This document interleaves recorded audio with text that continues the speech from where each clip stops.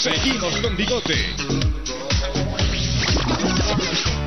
Y nos enlazamos nuevamente hasta la ciudad de La Paz, Ciudad Maravilla. Ahí están los dos bigotones restantes de hoy jueves, Camila Guzmán y nuestro amigo Javier Gamarra. Chicos, les damos la bienvenida al programa. Muy buenas tardes. Hola chicos, ¿cómo están? Muy buenas tardes. Un saludo a todos ustedes. Elu, muy linda como siempre, la verdad. Gracias, muchísimas gracias. Te. Comienzan los halagos. ¿Y qué dice Camila, Camila Guzmán, la bigotona de los ojitos claros? ¿Cómo están chicos? Buenas tardes. Feliz de estar nuevamente con ustedes con un nuevo reto y esperemos que este sí les guste. Muy bien, vamos a ver si es del agrado del jurado calificador. Con ustedes cerramos ya hoy jueves y acto seguido sabremos quién nos va a abandonar, qué bigotón o bigotona nos dejará para nunca más volver. Pero de verdad que ha sido un gran trabajo hasta el momento, muy buenas las notas y arrancamos con Camilita. Camila Guzmán, ¿dónde se fue? ¿Qué estuvo haciendo? Es su oportunidad. Muy bien, Carlos, muchísimas gracias. Yo estuve paseando por uno de los mercados más conocidos de la ciudad de La Paz, que es el Mercado Camacho. Incluso tengo un dato. Es tan conocido este mercado que el expresidente de Bolivia, Urriola Goitia, durante su mandato iba a comer ahí los típicos platos de la ciudad de La Paz. Así que espero que les guste mi nota.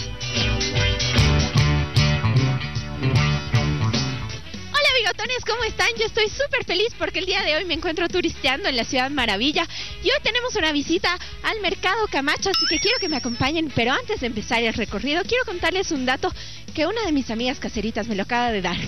El nombre del mercado es en honor al expresidente de nuestra nación, Eliodoro Camacho. ¿Qué tal esa? Estoy seguro que no se la sabían. Ahora sí, vámonos. Y bueno, bigotones, quiero contarles que inicialmente, más o menos por la década de los 40, el mercado Camacho se encontraba detrás de la alcaldía de nuestra ciudad.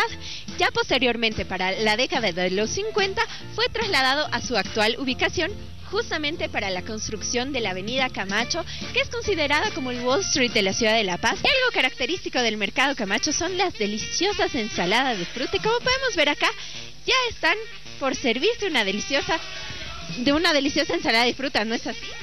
Sí. ¿Qué se va a servir? ¿Se va a llevar una ensaladita, un jugo, un multivitamínico? ¿Qué? Plátano con leche. Plátano con leche. Mm, jugo de papaya. Muy bien, ya está listísimo el delicioso jugo preparado por nuestro amigo Kevin, que yo personalmente se los voy a llevar para que lo prueben. Ahí está su juguito, quiero que me cuenten qué tal. Pruébelo, pruébelo, por favor. Exquisito y delicioso. Y quiero contarles otro dato, y es que el Mercado Camacho albergó a uno de los personajes más conocidos en la ciudad de La Paz en los años 50, y ella es la famosa Llanta Baja, una señora de pollera que tenía este nombre debido a que tenía algunas dificultades en caminar, y algo característico de esta cholita paseña es que llevaba muchísimas joyas bastante vistosas. El mercado Camacho es conocido por la gastronomía paseña y uno de los platos característicos de este lugar es el denominado macho Camacho, sí señores, pero ahora nos encontramos con la señora Gaby, quien nos va a ayudar a cocinar este plato. Pero ahora yo quiero que me enseñe a cocinar y yo voy a vender un macho Camacho hecho por mis manos y obviamente por la ayuda de ustedes.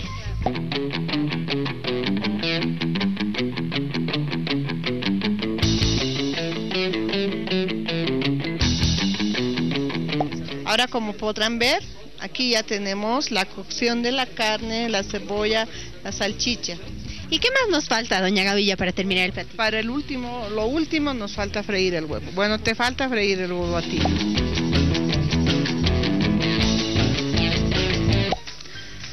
A ver, ¿a quién quiere? Macho Camacho hecho por la Cami. Señor, ¿no quiere un platito? A ver, me voy a sentar aquí con usted. Pruébelo, por favor. Es el juez. Qué nervios. Está buenísimo. Bien, muchísimas gracias. Nos despedimos haciendo el bigote. Ahora que es tan cruel, Camila, tengo mucha hambre. El macho camacho, qué cosa deliciosa, muy Marquina, me rico. contaron que fuiste a comer tú ahí justamente al puestito de Doña Gaby. Ahí justamente donde doña Gaby, le mando un saludito, un beso enorme a, a Gaby que hace el mejor macho camacho del mercado camacho, muy rico y justo no almorzamos. Pero bueno, vamos a ver qué le pareció al jurado calificador. Arrancamos con la buricera, Melissa Suárez. Adelante. Eh, Camila, eh, tu intro eh, no me gustó, lo sentí aburrido. Eh, si- sentí que mucho te apresuras al hablar en tu nota, no mucho te entendí. O sea, hablas sin pausa, uno tras otro. De ahí, la verdad, no me gustó. Implacable, dura, con su devolución. Corazón. Le rompe el corazón a Camilita. Escuchemos qué dice Oscar Santana. Camila, ¿cómo estás? Hola, Oscar. Bien. Genial, te ves, te ves nerviosa, te ves nerviosa, deberías estarlo. Full malo, ¿no? Eh, mira, creo, Gracias por creo, el adelanto. creo, creo y te digo honestamente, veo una mejora, veo una mejora de tu anterior nota. Eh, creo que estuvo un poco más entretenida, pero no me gustó mucho la intro. No sé si estabas nerviosa o si estabas hablando muy rápido, pero vi que te faltó el aire y eso se notó, lo que hizo que tu nota sea así comenzó creo que un poco mal y después comenzó a subir, me comenzó a agradar y de nuevo fuimos para abajo y, y bueno, la falta de aire se notó y se vio un poco incómodo, eso hace sentir un poco eh, incómodo al televidente, pero eh, bueno, te- lo que te puedo decir, el lado bueno de esto es de que sí mejoraste. Gracias, Oscar. Gracias. Y sí, estaba cansada, estaba corriendo, ¿no? Al inicio. Pero bueno. O tal bien. vez, tal vez el aire en La Paz. Faltó el oxígeno. Sí, tal vez. Faltó Tal el vez. oxígeno. Bien, gracias a Oscar Santana, Eliana González, ¿qué le pareció? Estoy seguro que disfrutó también de esa ensalada de frutas, del, super vitamínico para todos los deportistas. Es muy, es muy útil. A ver, Eliana. Camilita, ¿cómo estás? Hola, Eliana. Bien, ¿tú? Bien también. Oye, Cami, una pregunta y de verdad te la hago con toda la curiosidad del mundo porque no sé, he estado fuera del mercado Camacho pero no he entrado. Eh, ¿Venden solamente comidas? ¿Jugos, comidas o también podés ir a hacer No, no, no. No, es un mercado como tal donde tú puedes encontrar fruta, carne, todo lo que tú quieras, pero algo característico sí del, del mercado son las comidas. Creo que el mercado Camacho es conocidísimo por Más las por- comidas, ¿no? Ok, buenísimo. Dale, Cami, te voy a Sí, eh, dar mi, mi calificación. Entonces, me gustó la información que manejaste. Eh, desde un inicio hablaste de cosas súper importantes, incluso diste algunos datos extras en las transiciones, eh, cosas que tal vez otro de los participantes no ha hecho.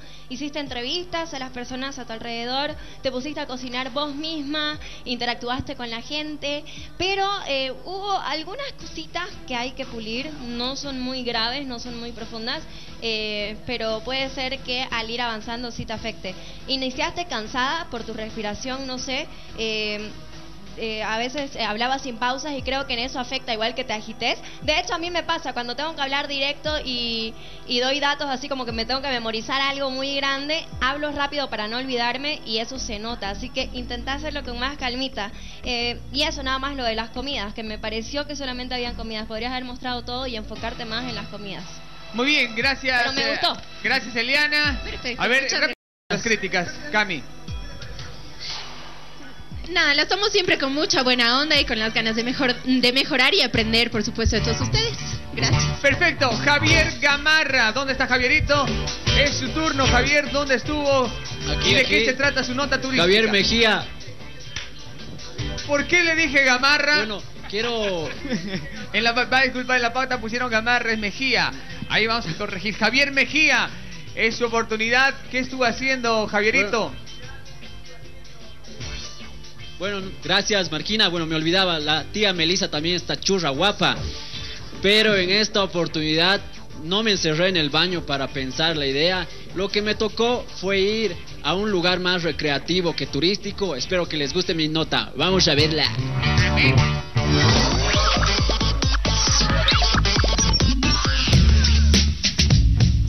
¿Qué podemos hacer un fin de semana feriado en la ciudad de La Paz? Pues venir al Parque de la Florida. ¿Cómo están, bigotones? Bueno, yo me encuentro en este parque en la zona sur de nuestra ciudad, más específico en el barrio de la Florida, por eso el nombre, obviamente, donde pueden divertirse grandes, pequeños y menores. Pues quieren conocer más del parque, acompáñenme, bigotones. Pues ya ingresamos al parque Bigotones Y bueno, este parque tiene una superficie de 17 mil metros cuadrados. Imagínense lo grande que es esto. Aquí podemos encontrar canchas de beach volley, también una pista de patinaje para patinetas y patines. También podemos encontrar juegos, un mini teatro con gradería para niños. Oh, Zomeo, ¿dónde estás que no te veo? Bueno, muchas áreas verdes. La verdad es un parque muy lindo y muy hermoso y vamos a estar mostrando un poco más.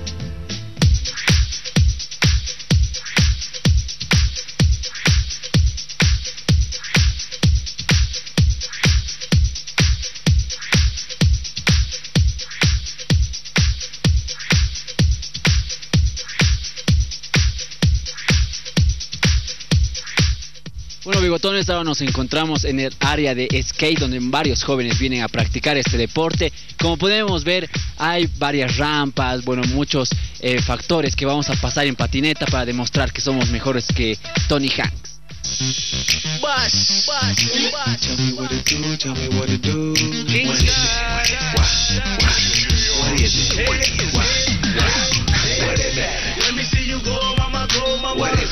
Del cielo cayó una estrella, de mi camisa un botón, y a todos los bigotones le entrego mi corazón.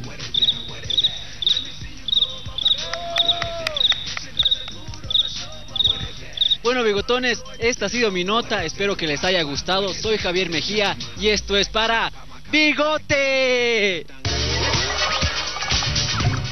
Muy bien, Javier Mejía. Yo sé que el, para el próximo reto se va a llenar el Parque de la Florida.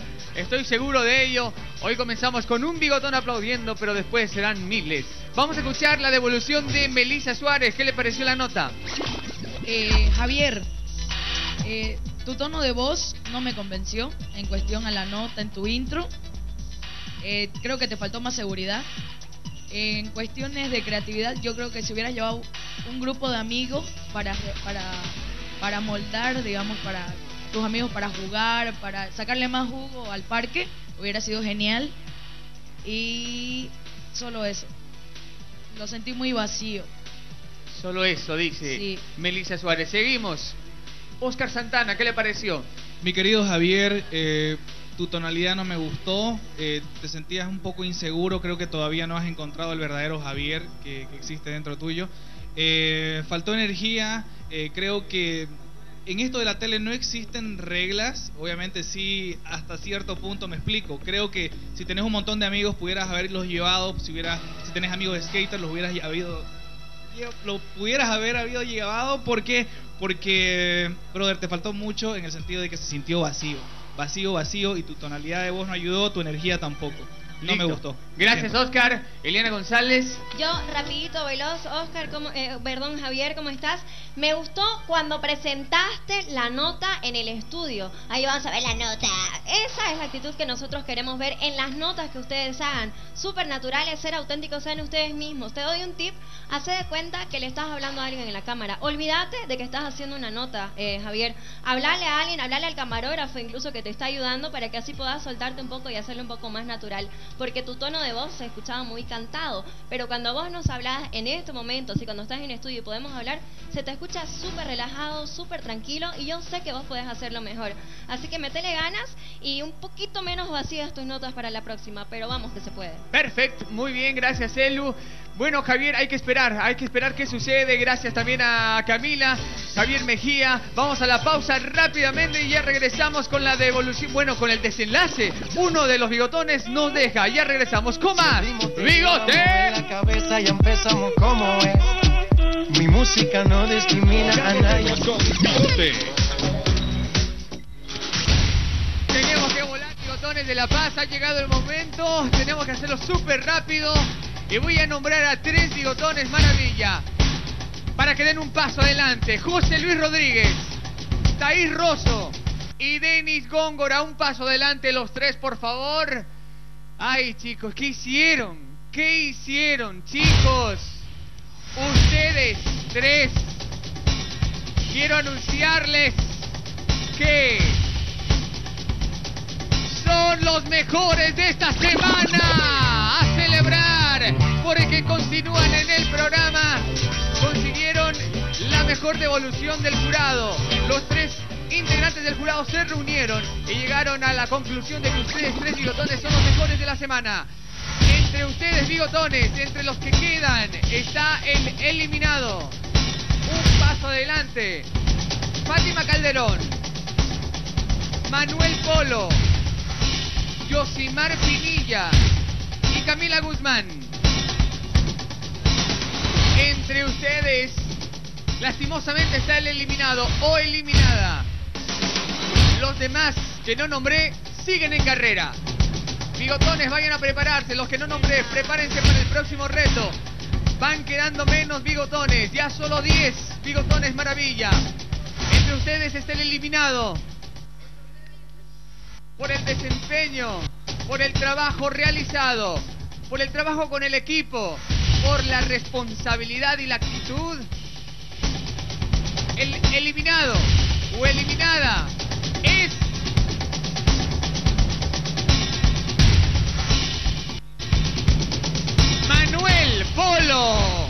Lastimosamente Manuelito no logró continuar en el programa. Es la decisión que tomó el jurado. Agradecerle Manuel.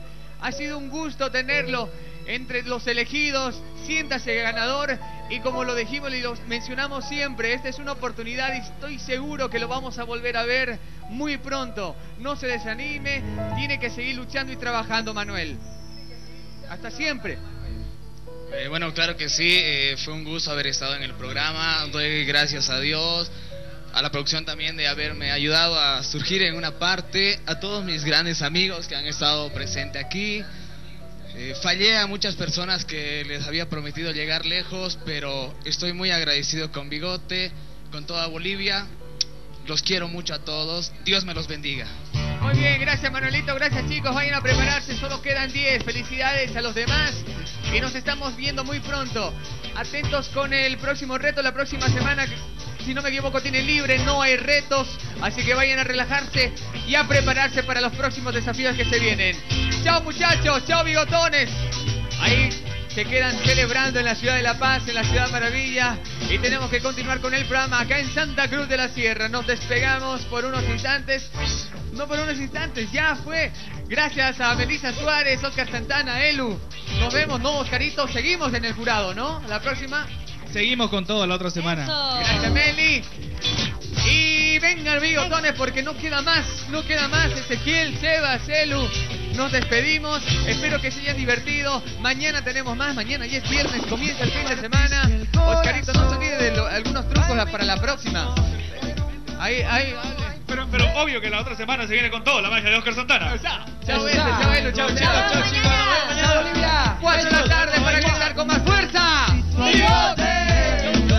Solo un pedacito. Ya no venga más con eso, cuento mami. Si desde el principio siempre tuve para ti. Nunca me avisaron cuál era el problema. Te gusta estar rodando por camas